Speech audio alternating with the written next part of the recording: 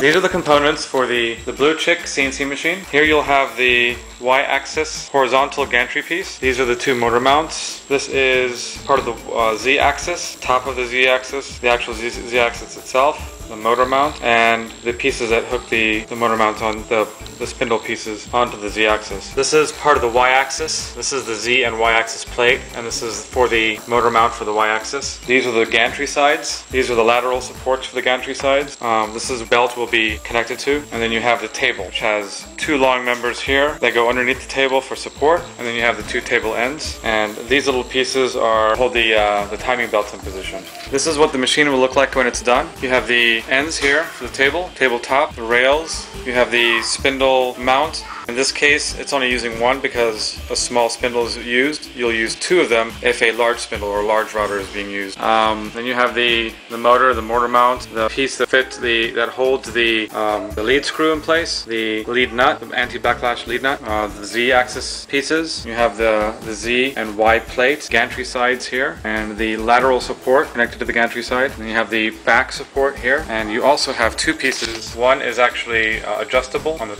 on the bottom, and then you have a top piece for the y-axis for the rail holders. And on the side you can see the belts timing belts and you have a timing pulley. You have three bearings here. You have the V-groove bearings on the uh, gantry side and on the uh, Y and Z plate. And then these are the pieces that hold the V or hold the uh, timing belts in place. And in the back of the Y-axis you can see this is the motor mount. Very, very tight. Um, there's not much wiggle room here. And you also have the pulley here and bearings in this location. For the first step of the Build Your CNC uh, blueChick CNC machine, we're going to be putting together the tabletop, which consists of, this is the tabletop, pieces are the support underneath the tabletop, and these are the front and back pieces. For most of the assembly on the CNC machine, we're going to use these one and a half inch screws and the cross dowel, also called barrel nuts. So let's first put the pieces underneath the table. So we're to have to up the table. Make sure that the tabletop has um, counterbores on the top, not on the bottom. Counterbores are going to keep the screw heads flat on the surface so they don't get in the way of the work. This one will go here. See the cross dowel holes match up with these holes here, and this one will go here.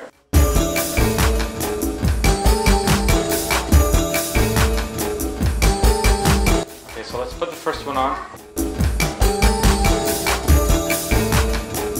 The cross dowel head, which has the, the slot, will be flush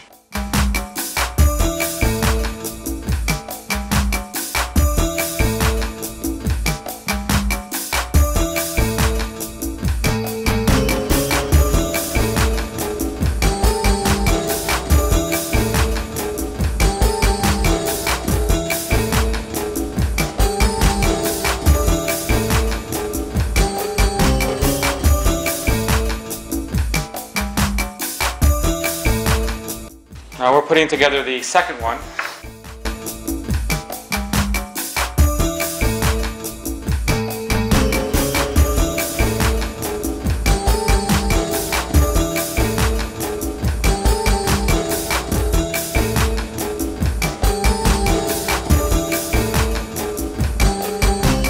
Okay, so now your table should have the two supports underneath it. See how it sits on the table?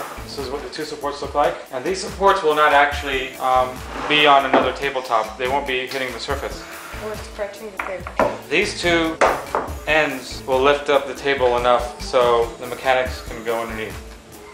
So let's go ahead and put these together.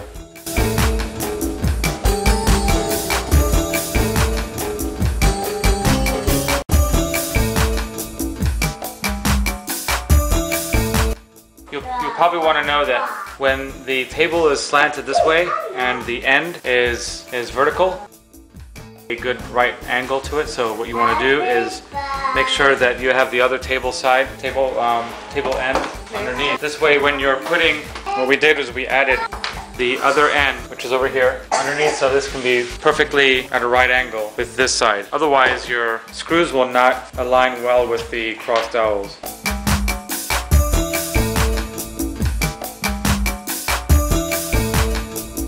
These holes here, this hole right here and this hole right here, do not line up with these holes here. So we have to make sure that it's turned around and they match. So after we put after we put these screws in, we're also going to put the screws at the ends of the supports.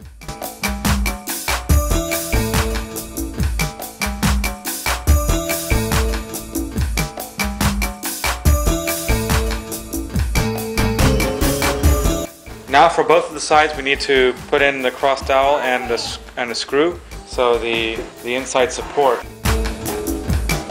You'll see the cross dowel hole here, and then the screw goes in here.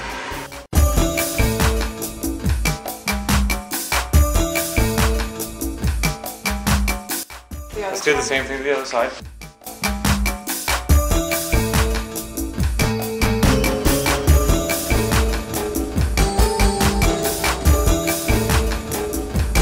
This is what the table is going to look like at the end. All right, these two pieces are for the for the router mount. We're going to attach this piece to the router mount using the one and a half inch screws and the cross dowel.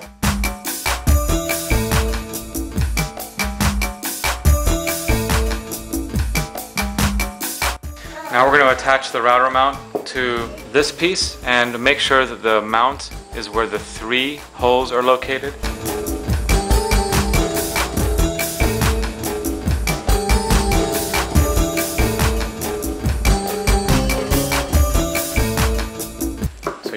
This mount connected where these three hole positions are. The router mount will also have a hole at this location so it can be tightened in this way. Now we're going to be putting those two pieces onto this piece. And like there are four holes that match four holes here. Make sure you put the screw in from this side because this will be the back where it slides back and forth. And you don't want any obstruction. This, these are the counterbores.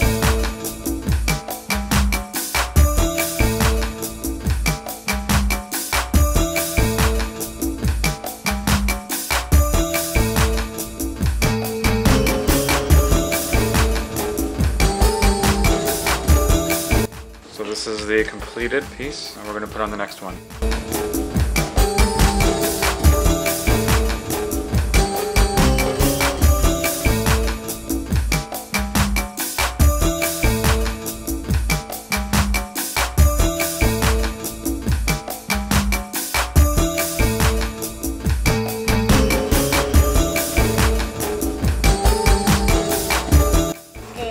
Okay, so we should have four on the top and four on the bottom, holding these two major pieces together.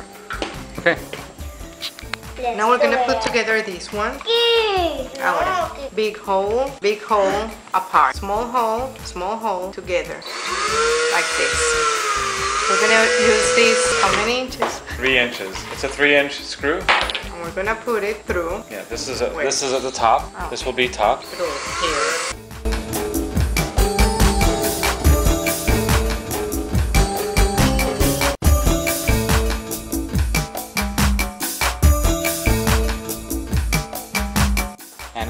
The right of the router. Or if you're looking at it this way, it's to the left of the router.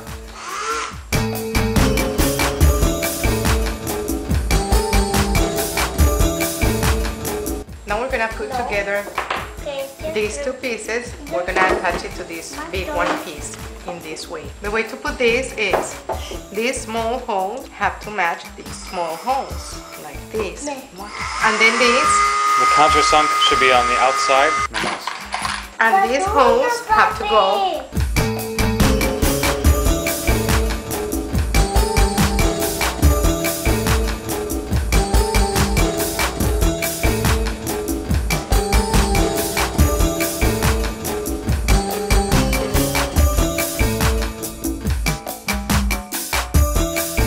And then we have to attach this piece again with the double holes on the top and these small holes uh, no these slots have to match these little holes because it's gonna be adjustable like this